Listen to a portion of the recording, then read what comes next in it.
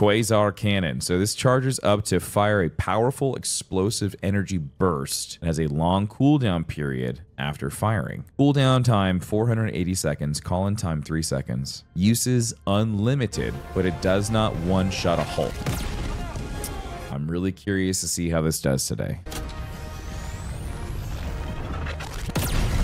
All right, that animation's really cool. That looks sick. Oh, I can move. I can move while it's happening. Nice! That was sick!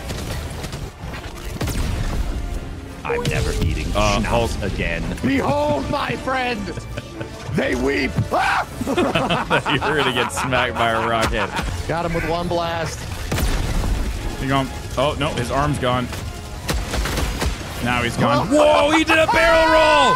That was so Right cool! over my head. That was What awesome!